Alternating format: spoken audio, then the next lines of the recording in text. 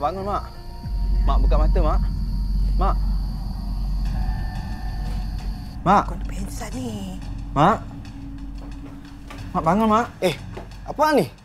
Mak pingsan. Macam mana mak boleh pingsan ni? Abang tak tahu tadi abang borak dengan mak tiba-tiba mak pingsan. Kau cakap apa dengan mak? ah? Ini mesti ada benda kau cakap dengan mak sampai mak jadi macam ni kan? Abang borak biasa je. Dah lah tu, tak payah nak kena gaduh. Jom kita bawa mak pergi hospital dah. Jom, bawa masuk dalam kereta. Eh, tak payah, tak payah. Ni suka sangat menyusahkan orang kau tu. Kau duduk rumah ni, kau jaga nenek lagi bagus. Tak apa, abang hantar mak, kamu jaga nenek. Tak payah. Lagi mak sedar, mak tengok muka kau lagi susah, kau tahu tak? Eh, kenapa cakap abang macam itu, Kayum? Dah, dah, dah. Kalau dah tahu penyakit, pergilah hospital. Hah. Hantar you pergi hospital eh? Batuk je lah, besok je lah. Ayo, tak nak habis ni tidur kat luar. I pula kena tidur luar. Kenapa? You yang batuk tau. Eh, tidur luar lah. Bising lah. Mana kau, Yu?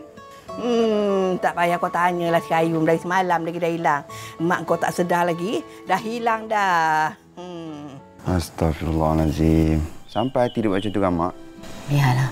Dia penting dengan kawan-kawan. Sampai hati kau kan, bang? Kau biarkan mak pingsan seseorang dekat hospital.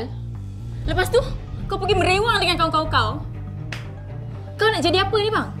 Kau nak jadi anak dahaka ke? Mak tu mak kandung kau, bang. Kau patut risaukan tentang keadaan mak. Bukannya suruh mak cik Piah yang tunggu mak sampai mak sedar. Megak lah kau ni. Abang, Koyong, nak pergi mana ni? Janganlah keluar. Duduklah rumah. Kat rumah ni ada nenek dengan mak je. Kalau anak mak tu ada kat rumah, mak bukannya kisah pun kau balik ke tak kan? Malam nanti kau balik. Sekarang ni kau nak pergi merempit. Pergi merempit. Koyong. Koyong.